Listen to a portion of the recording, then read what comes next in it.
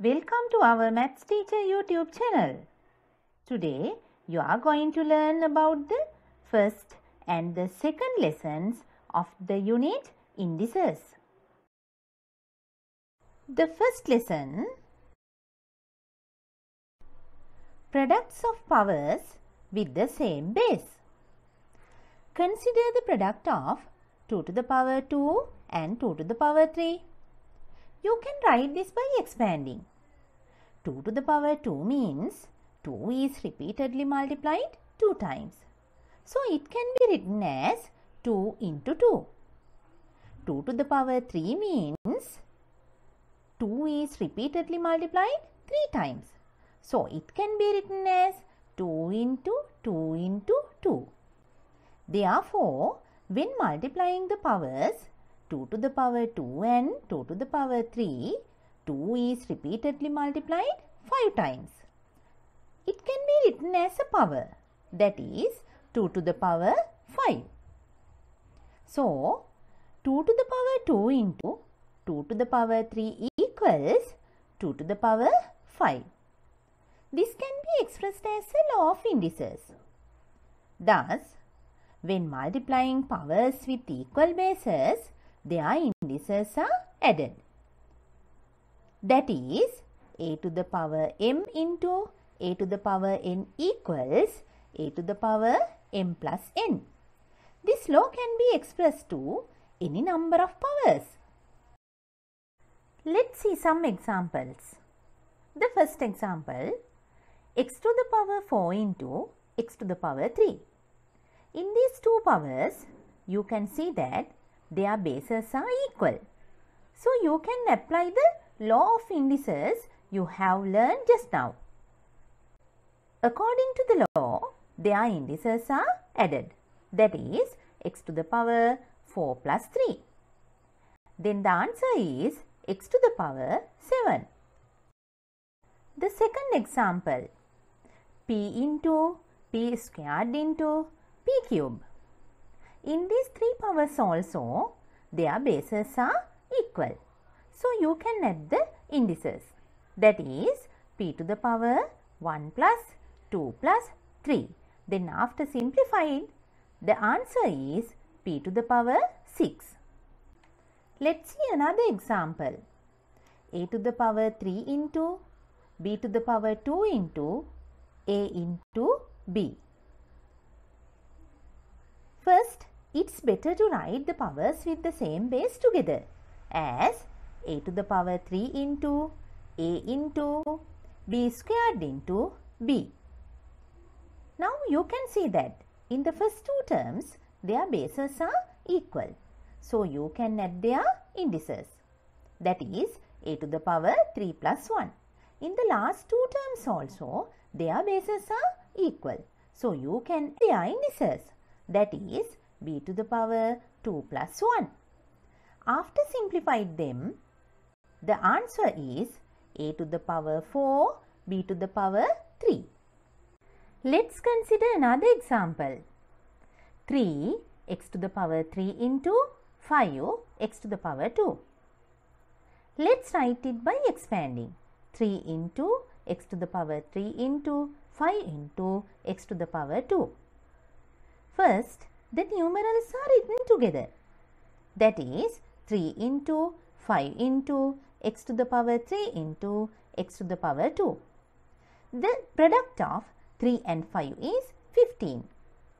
And you can see that in these two powers their bases are equal.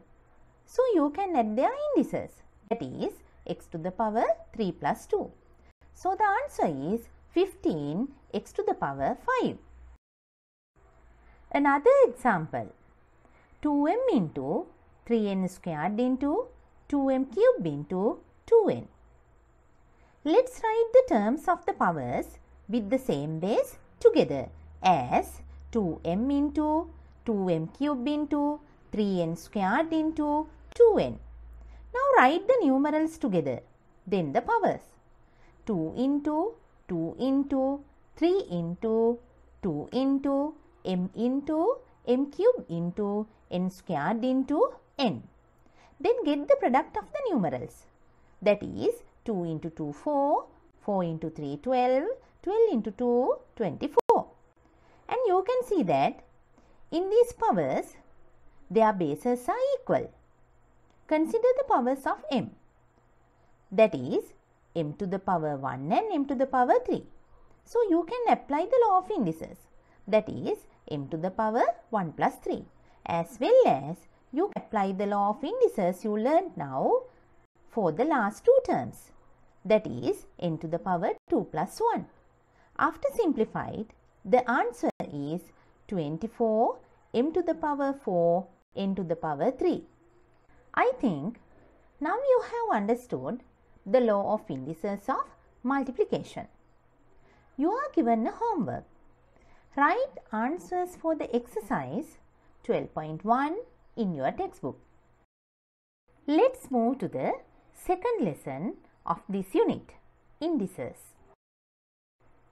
Quotients of powers with the same base. Consider the division of the powers x to the power 4 by x to the power 2. It can be expressed as x to the power 4 over x to the power 2. Now write the numerator and the denominator by expanding and simplify.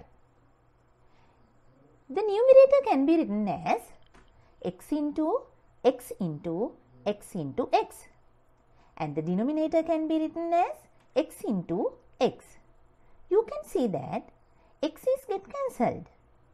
Then x into x is left.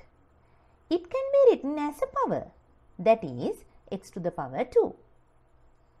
Thus, x to the power 4 over x to the power 2 equals x to the power 2. Here the answer is x to the power 2. That is called as the quotient. The answer is said to be as the quotient in divisions. Can you remember? Here the base of the quotient is x, which is the common base of the original two powers given. The index of it is the difference between the indices of the original powers given. This can be expressed as a law of indices. When dividing powers with equal bases, their indices are subtracted. That is, a to the power m over a to the power n equals a to the power m minus n. Now let's consider some examples. The first example, a to the power 3 into a to the power 2 over a. You can apply the law of indices you learnt in the previous lesson to simplify the numerator. Let's remind it, when multiplying powers with equal bases, their indices are added. So, in these two powers, you can see that the bases are equal. Hence, their indices are added. That is, a to the power 3 plus 2. Then, after simplified, it becomes a to the power 5 over a. Here you can see that the powers with equal bases have to be divided. Hence, their indices are subtracted and the same base is written that is a to the power 5 minus 1. So, the answer is a to the power 4. Now, let's consider another example. 4 x to the power 6 divide by 2x to the power 4. It can be written as 4x to the power 6 over 2x to the power 4. You can see that both 4 and 2 can be divided by 2. 2 divided by 2, 1. 4 divided by 2, 2. So, it becomes 2x to the power 6 over x to the power 4. In these two powers, their bases are equal and you have to divide them. When dividing powers with equal bases, now we learned that their indices are subtracted. Hence, that is 2x to the power 6 minus 4. It is equal to 2x to the power 2. The third example, 3a squared into 2b cubed over a into b squared. You can write this by expanding as 3 into 2 into a squared into b cube over a into b squared. Now get the product of these two numerals. That is 6. So 6 into a to the power 2 into b to the power 3 over a into b squared. You can see that there are powers with equal bases. So you can apply the law of indices of division. Then 6 a to the power 2 minus 1 into b to the power 3 minus 2. After simplified, you can write 6 a to the power 1 b to the power 1. Since the indices of the powers of a and b are 1, it's not needed to write them. So it is written as 6ab. Let's consider another example. 6y squared into 10x cube over 2y into 5x. You can write this by expanding as 6 into 10 into y squared into x cube over 2y into 5x. There are common factors for both 6 and 2 as well as both 10 and 5. Then you can divide both 6 and 2 by 2. 2 divided by 2 1, 6 divided by 2 3. Both 10 and 5 can be divided by 5. 5 divided by 5 1, 10 divided by 5 2. Then get the product of 3 and 2 that is 6. So you can write 6 into y squared into x cube over y into x. Here also power, there are powers with equal bases. So you can apply the law of indices you learned now. Then you can write 6 into y to the power 2 minus 1 into x to the power 3 minus 1. After simplified, the answer is 6y x squared. I think now you have understood the law of indices of division. Now you are given a homework. Write answers for the exercise 12.2 in the textbook. I will be back in the next video lesson. Don't forget to subscribe us. Thank you.